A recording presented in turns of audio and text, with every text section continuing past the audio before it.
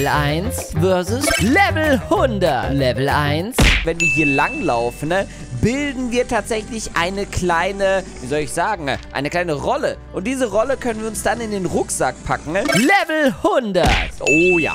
Oh ja, das ist auf jeden Fall ein Ticken größer. Wir können jetzt, das ist jetzt schon ein ganz anderer Schnack, den wir hier haben, Leute. Das ist, äh, wirklich sehr groß, was wir hier aufrollen.